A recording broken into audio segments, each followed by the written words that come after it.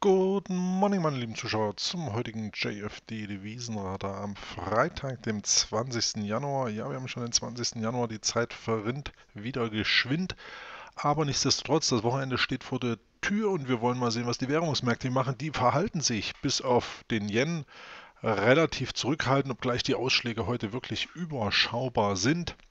Ich gebe hier nochmal den Hinweis vorab, bevor wir uns den heutigen Underlines widmen, British Pfund und eben den US-Dollar-Index, dass hier die Edelmetalle auch nicht uninteressant ausschauen. Da schaut euch am besten mal den Beitrag aus dieser Woche schon mal an. Da hatten wir Gold und Silber ja schon mal in der Beschau und diese, ja, die hängen jetzt hier gerade genau an den entscheidenden Marken, die wir damals genannt hatten, hier herum sozusagen. Also, der Punkt ist der, dass wir uns jetzt das Pfund mal anschauen wollen. Warum? Ja, wir hatten die Woche ja mit der Rede bzw. Einschätzung von der Premierministerin May ja einiges erlebt und erleben dürfen. Starke Movements beim britischen Pfund. Schauen wir uns das kurz hier nochmal im Chart an. Ähm, letztlich muss man sagen, über Umwege wurde die äh, Strecke eingefahren, die wir auch favorisiert haben, sprich hier vom Unterstützungsniveau um 1,2120 letztlich hier ein Lauf nach oben. Ähm, man darf gespannt sein, ob wir hier nochmal ein Stück weit in Richtung 1,24 plus gehen. Grundsätzlich hier mit dem Downgap dieser Woche, ja, das war natürlich schon erstmal der erste Rückschlag und dann aber auch gleich Test des Levels 1,20. Hochinteressante Situation. Man hätte hier äh, tatsächlich einen spekulativen Move wagen können, obgleich die Volatilität eben hier am Dienstag auch hätte hier durchschlagen können nach unten, aber es manifestiert sich hier der Bereich von 1,20 als interessante Unterstützung. Das hatten wir auch zu Beginn der Woche beleuchtet, gerade im Big Picture Chart die 1,20 sehr, sehr interessant. Und nichtsdestotrotz kam es hier zu einer schönen Bewegung, dass die 1,20 eben verteidigt werden konnte. Und wir haben jetzt hier die Attacke nach oben gesehen, müssen jetzt hier aber ein kleines Update fahren und die Frage ist eben, wie geht es jetzt weiter? Von der Saisonalität bekommen wir überhaupt nichts. Das ist hier eine Oszillation um 0 mehr oder weniger oder Mittelwert. Wir haben hier sowohl in der 24-Stunden-Beschau als auch hier 7 bis 22 keine wirkliche Tendenz ableitbar. Das heißt, das britische Pfund kriegt hier weder Rückenwind positiver oder negativer Natur. Charttechnisch ist der übergeordnete Abwärtstrend natürlich noch intakt. Und wenn ich mir das aktuelle Bild anschaue, könnte ich mir doch vorstellen, dass wir eben hier äh, nochmal einen Dip nach oben sehen, ja, um dann eine mögliche Schwäche wieder zu erleben. Das äh, leite ich auch aufgrund des US-Dollar-Indexes ab. Ähm, heute Abend ja 18 Uhr dann noch Mr. Trump seinen Antritt. Ähm, ja, man rechnet mit Demonstrationen, man rechnet auch mit vielerlei Bewegung möglicherweise. Am Ende ist eben doch alles schon eingepreist weitestgehend und wir warten mal ab, wie dann ja, der Wochenausgang letztlich noch verläuft. Es könnte volatil werden ab 18 Uhr, aber grundsätzlich denke ich mal nächste Woche noch umso spannender. Ähm, letztlich mal abwarten, was heute passiert. Wir haben von der Fuzzi-Vektorlogik vom Wochentag nicht wirklich Positives. Heißt, es könnte heute tatsächlich zu einer Schwäche kommen.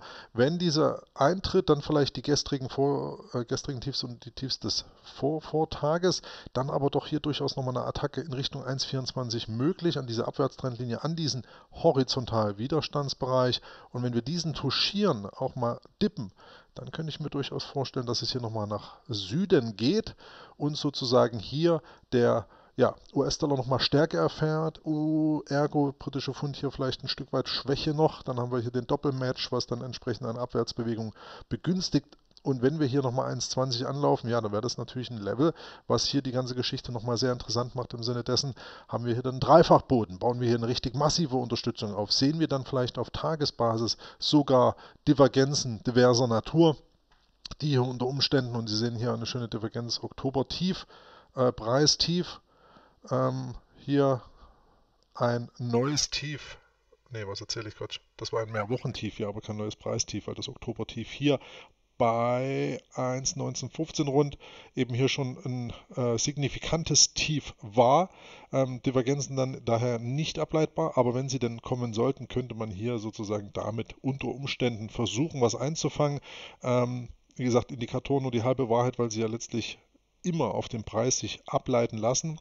Insofern die große Beschau natürlich hier wichtig. Aber wenn es Differenzen gibt, kann man hier unter Umständen nochmal zuschlagen auf der Long-Seite. Doch kurzfristig sehe ich eben hier eine mögliche Schwäche. Nachdem die 1,24 nicht überwunden werden kann, geht es über 1,25 raus. Round Number auch deutlich über diesen Widerstandsbereich 1,24, der sich hier sehr, sehr schön ableiten lässt. Also das sind definitiv, ähm, also ist definitiv eine Price Action Zone, wo man sagen muss, wenn der da drunter bleibt, bleibt es definitiv bärisch. Ein Ausbruch könnte hier zu einem Short Squeeze führen und dann relativ zügig in Richtung 1,2850, 1,29. Hier haben wir natürlich den nächsten Widerstandsbereich, wo das britische Pfund sich rein technisch den Kopf stoßen müsste. Ja, da haben wir die Zone. Und dann werden wir mal sehen, was passiert, wenn es denn so kommt. Aber britische Pfund, wie gesagt, eigentlich kurzfristig nochmal mit einem Dip meinetwegen nach oben. Ja, könnte auch heute passieren. Grundsätzlich aber dann eher wohl wieder schwächer.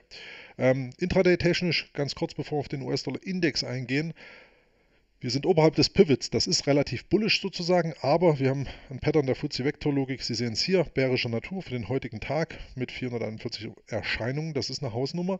Ähm, wir haben das theoretische Tageshoch heute schon überschritten, ja, sind aber am Resistant Level 1 exakt gescheitert. Das macht es interessant.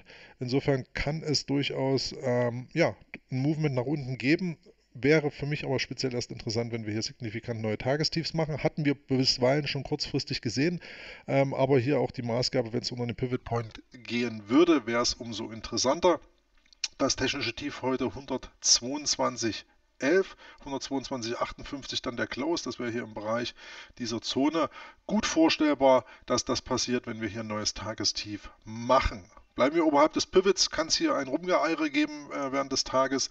Ähm, man, machen wir ein neues Tageshoch, dann hat sich das Setup gänzlich erledigt, aber das bleibt mal abzuwarten. Bislang hier ein Stück weit unentschlossen. Wie gesagt, die Ausschläge halten sich in Grenzen. Von den News her haben wir, ähm, hoppala, heute ist der Freitag, genau. Von den News her haben wir jetzt hier am Nachmittag nicht mehr so die Welt zu erwarten. China-Daten sind reingekommen, ähm, also die Reaktionen waren alle relativ übersichtlich.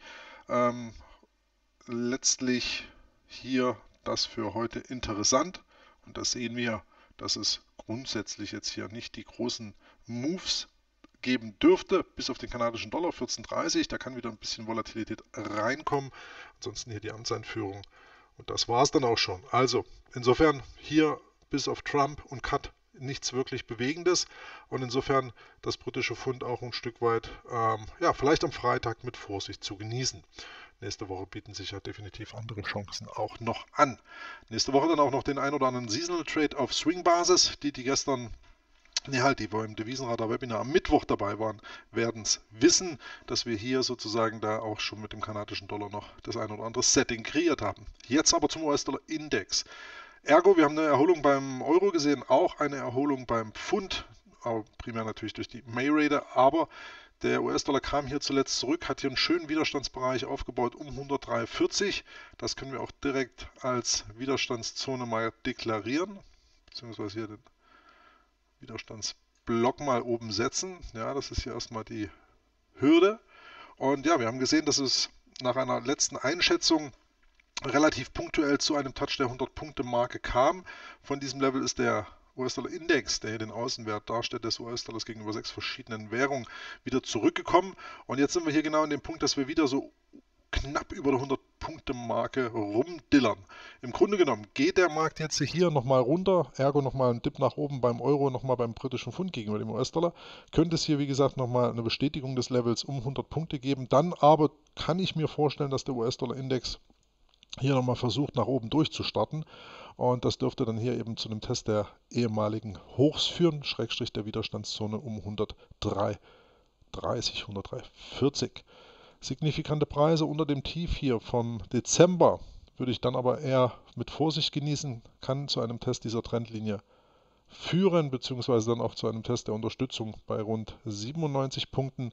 Wäre wie gesagt unschön, wenn der Index sich hier unter dem Level von 100 Punkten versucht einzunisten. Da müsste man dann durchaus von einer Schwäche rausgehen.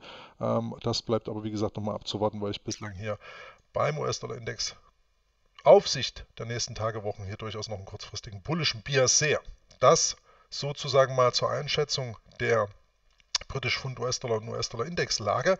Ich hoffe, es hat Ihnen gefallen. Gestern das Webinar, der Live-Event mit Jay, kam sehr, sehr gut an. Ich bedanke mich auf jeden Fall fürs Feedback. Für alle die, die das gestern verpasst haben, auf unserem YouTube-Channel ähm, können Sie dies sehen, speziell auch hier auf unserem JFD Desktop ist auch hier das Video abrufbar, beziehungsweise hier unser YouTube-Channel auch direkt erreichbar. Und wie gesagt, das fand gestern sehr, sehr guten Anklang. Freue ich mich nochmal, fand ich auf jeden Fall prima. Ansonsten auch hier gestern nochmal die Augen geöffnet in Sachen Core Spreads, Spreads generell auch Ausführung von Trades. Ihr wisst, Just Fair and Direct, JFD Brokers. Der Name ist Programm, deswegen testet uns, wenn ihr sozusagen das alles mal live erleben wollt, mit einem Demokonto oder natürlich Live-Account. Ich sage jetzt erstmal vorab, ein schönes Wochenende an alle Zuhörer, Zuschauer. Wenn ihr mögt, hören wir uns auf jeden Fall am kommenden Montag wieder zum neuen JFD Devisenradar mit einer neuen Handelswoche. Und in diesem Sinne viel Erfolg bei allem, was heute noch ansteht und natürlich am Wochenende. Beste Grüße, euer Chris. Ciao dabei.